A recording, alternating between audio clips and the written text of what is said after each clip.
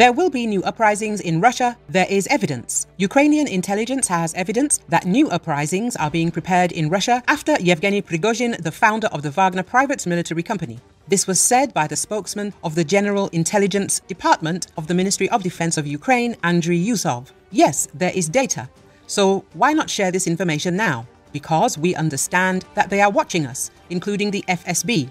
They are happy to mention it. Let's not make their job easier, said Yusov. Yusov didn't say who exactly could be preparing this rebellion as this data is classified, and the Russian security services could benefit from its disclosure. The chief of the Wagner Group, Yevgeny Prigozhin, still has political potential in Russia, according to Yusov, and the Prigozhin-Shoigu conflict hasn't run its course yet. There are some processes, and not only Ukraine knows about them, but Western security officials and analysts do as well. The Putin regime really has been cracking, Yusov said. Prigozhin announced the start of an armed conflict with the Russian Ministry of Defense on June the 23rd, stating that 25,000 of his mercenaries would restore justice.